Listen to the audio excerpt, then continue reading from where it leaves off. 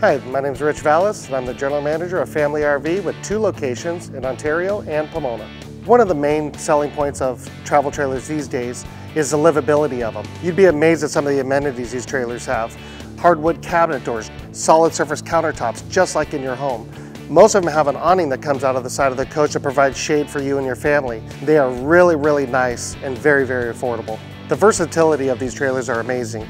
They're small when you're towing them and storing them, and they expand when you're using them or camping with them. At Family RV, we have over 200 floor plans to choose from. You could spend the day here. We have the largest inventory of travel trailers in the area.